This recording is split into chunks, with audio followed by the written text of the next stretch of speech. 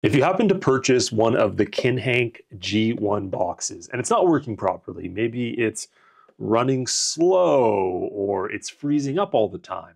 Well, today I'm going to teach you all the methods to get it reset again from easiest, the simplest method, all the way up to your last resort. Now, if you're actually thinking of purchasing one of these G1 boxes, I have the complete review, which I'll tag right above here. And all these videos are listed in a nice playlist where you can learn everything about the Kinhank, how to reset it, how to play around with the settings, and so much more. If you're new to the channel, I try to help people like you save money on streaming services and yes, learn about their devices. Literally the best way to support me is just subscribing right down below. Now method number one is actually really simple and this is if your device is frozen and you can't do anything at all. And what we call this is a soft power reset or some people refer to it as a power cycle. To do this, what you're gonna do is unplug your power source directly from the back. Now your other option, if you don't wanna do that, is just to press this power button right here. But if your device is frozen, that might not work. You're gonna wanna leave it unplugged for 30 seconds at least. Go make yourself a coffee, and when you come back, you can plug it right back in. Now that it's done, we can plug our device back in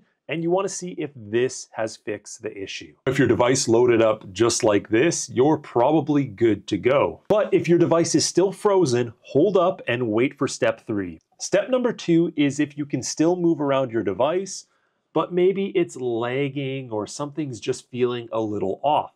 Well, what we want to do is go into settings, scroll down until you find device preferences and click on the about section.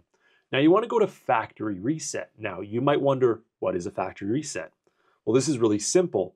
This is just a soft reset. It deletes everything off your device and basically resets it like it's brand new again.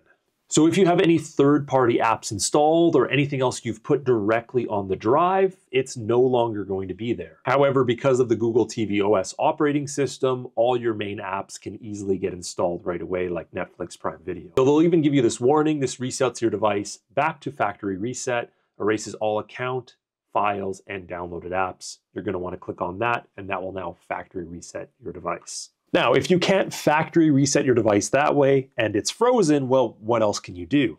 This is where your device's reset switch comes in. Now, on the Kinhank model, they actually have the reset switch right here. You just see it say reset, and it has a little circle.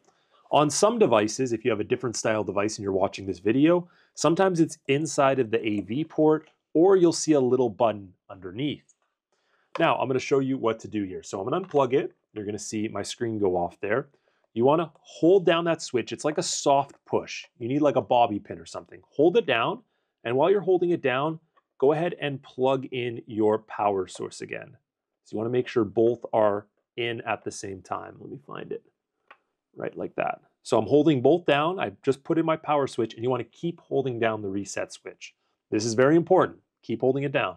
And now you're going to come to this screen right here, which is your reboot screen. Now this is very important. With your remote, you want to click on Wipe Data Factory Reset. Don't do the reboot system now. And to scroll around in the menu, your remote might not work. You actually just click the reset switch once and you can see it move around in the menu there. So when you get to what you want to click on, go ahead and hold down the button.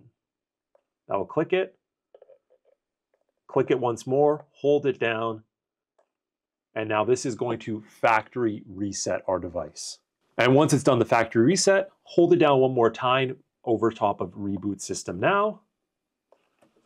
And your system should now reboot. And now you're back on your main Google TV screen where you're setting up your device for the first time. So that's how easy it is to reset your Kinhank box. If it's still not working, your only option is to buy another one or contact them for warranty.